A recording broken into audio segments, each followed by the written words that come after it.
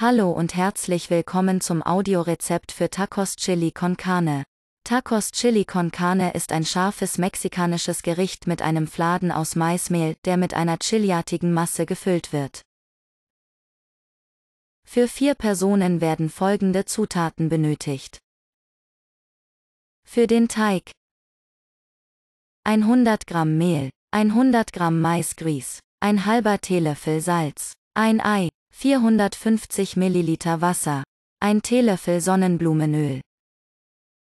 Für die Füllung Zwiebel, grüne Paprikaschote, 200 Gramm Rinderhackfleisch, ein Esslöffel Sonnenblumenöl, Paprikapulver, Cayennepfeffer, Dose 425 Milliliter Kidneybohnen, 6 Esslöffel Chilisauce zum Beispiel, Maggi Texicana Salsa, 100 Gramm geriebenen Käse zum Beispiel Cheddar oder Leerdammer.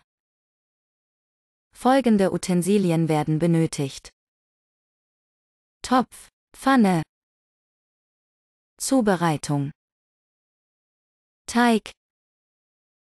Mehl, Maisgrieß mit Salz und mit Ei verrühren. Nach und nach Wasser zugeben.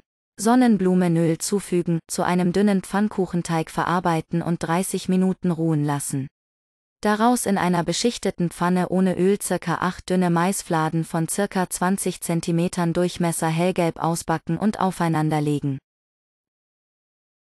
Füllung Zwiebelpellen klein schneiden. Paprikaschote waschen, putzen, in kleine Würfel schneiden. Zwiebel- und Rinderhackfleisch in Sonnenblumenöl anbraten, mit Paprikapulver und Cayennepfeffer würzen. Paprikawürfel dazugeben, kurz mitbraten. Kidneybohnen abtropfen lassen und zufügen. Chilisauce unterrühren. Auf eine Tacohälfte 2 Esslöffel Füllung geben. Mit Käse bestreuen und zusammenklappen. Auf ein mit Backpapier belegtes Backblech legen und im Backofen bis 200 Grad Celsius circa 15 Minuten backen. Als Beilagen eignen sich kühles Bier. Diese Varianten gibt es. Mais mit in die Füllung geben. Viel Spaß bei der Zubereitung und guten Appetit.